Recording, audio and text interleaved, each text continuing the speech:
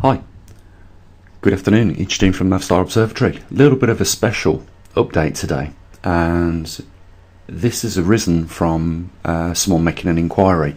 Well, actually, it's one of our superstars um, in in Canada, Kendall, who's got one of our magnetometers up there, asked the question whether I was aware on the 23rd of uh, June this year about the uh, magnetic anomaly, uh, which suddenly uh, vibrated uh, the magnetosphere and caused unexpected, unexpected electrical surges through the ground.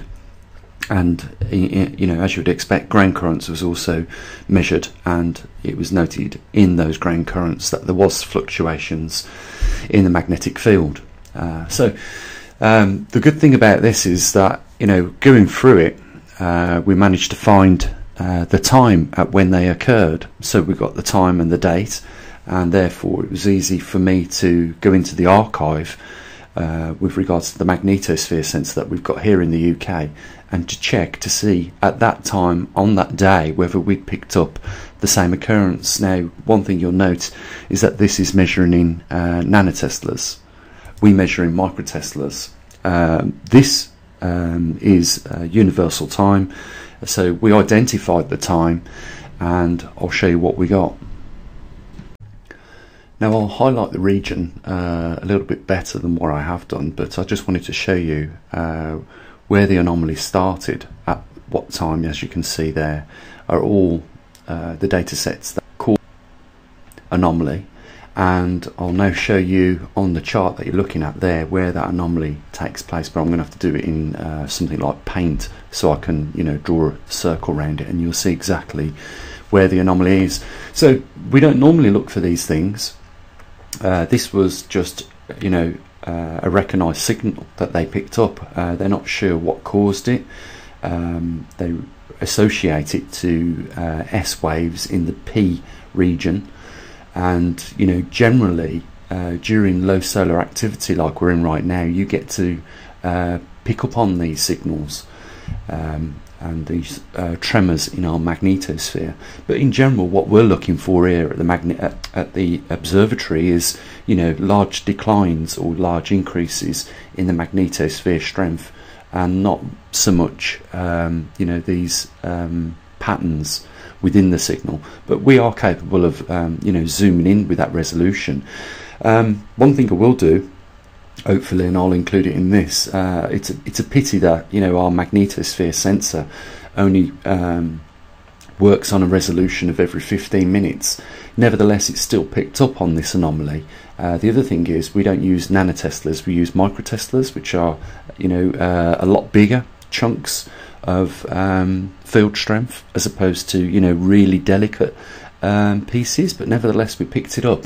But we do have um, another piece of equipment here at the observatory which monitors every three seconds. So I'm going to have to uh, pull the archive data up on the TriMag to the 23rd of June and uh, I might also include that uh, in this video. But it will be interesting just now and then to you know inspect a chunk of the data that we collect on uh, not just here in the UK but in other parts of the uh, world where we've got our magnetometers and just see if this signal is um, more reoccurring. See if it's happening a lot more often.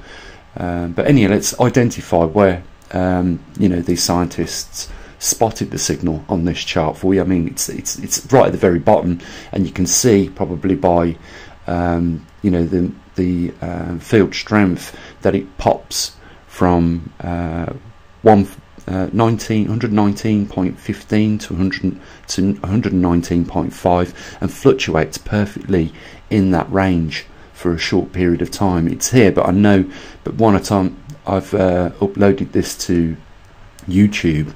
Sometimes the uh, audio is out of sync with the video, so I'll just show you where that signal is then uh, on this chart. And I also believe that there was another point as well, which I'll get to. So let's go into Paint, and uh, you know we can show you where the uh, all all the activity was taking place. So as you can see, the red arrow indicates the anomaly that the scientists um, picked up on.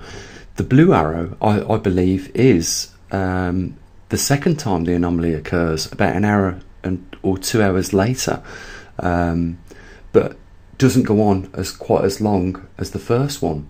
But you know, very similar pattern there.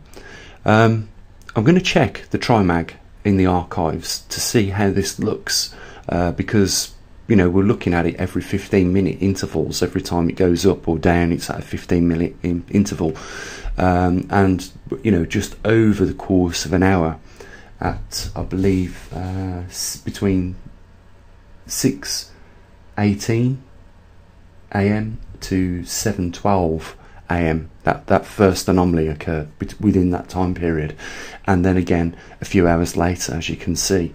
So um, you know if there is anything on the TriMag data going back to the 23rd when this anomaly happened, you know I'll, I'll show it in this video. So bear with me. Well, guys, I've just checked the TriMag data, and as you know, our resolution is of every three seconds. Uh, Preston, Lancashire Observatory, when monitoring that uh, anomaly that took place on the 23rd of June, managed to capture a very, very small piece of actually what was going on at that point in time. I'm going to show you what our TriMag system uh, caught during that hour. Um, but I'll just say, uh, you know, our equipment really comes into its own uh, at the resolution that we record, and you're going to miss a lot of the information or a lot of the data or a lot of the anomaly if you're not recording at that resolution. Now, I just want to show you what Preston, Lancashire missed. So, as you can see, we did a lot better than Preston, uh, Lancashire's observatory, in that we collected nearly 1,700 uh, separate data bits on the anomaly uh, not full like they did. Um, what I've had to do here is split uh, it into two charts because if you put the two uh, lots of data together, what you end up with is almost the block. So by doing this, we can split it down and see what took place. But as you can see, the frequency of the anomaly was a lot higher than what Preston had recorded and um, relayed to the public as you can see, there's a lot more events occurring within that hour. And um, again, you know, that's where our observatory really comes into its own, you know, with the equipment that we've got. Uh, people, you know, need to realise, you know, it took a long time uh, to build that equipment, and you know, it really stands out from everybody else's when we're getting much more data, you know, thousands times more data than what other people are on magnetic anomalies. And, you know, we caught exactly what Preston did, only in a higher resolution, on the 23rd of June 2020 at 6am in the morning. So there it is. What I would like to do, um, I'd like to run it through like if I had. Uh, I probably have got it, but I don't know where it is.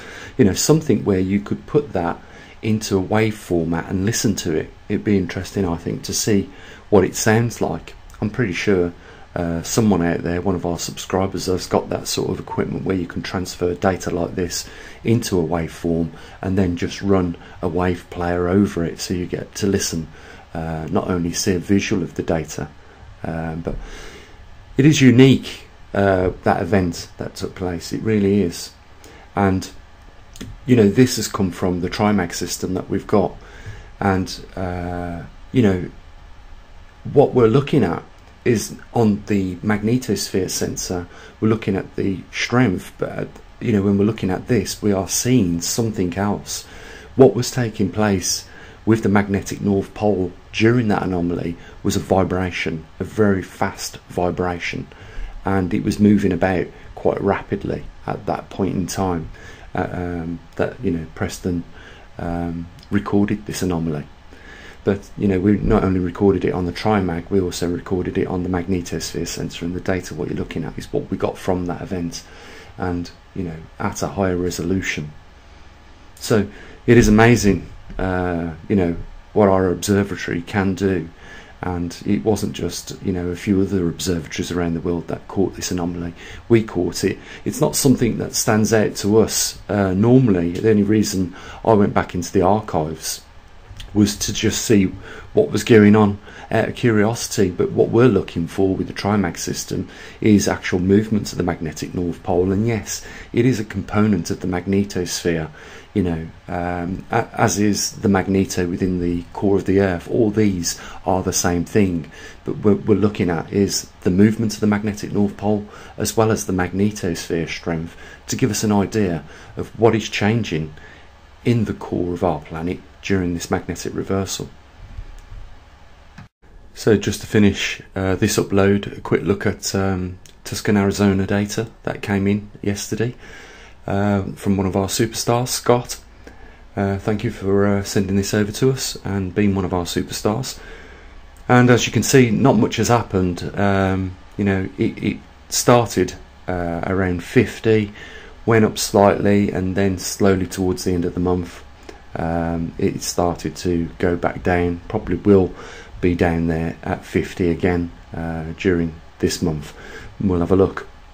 Uh, but the nice thing is, guys, uh, you know, we've got the data coming in from different locations now, all around the world.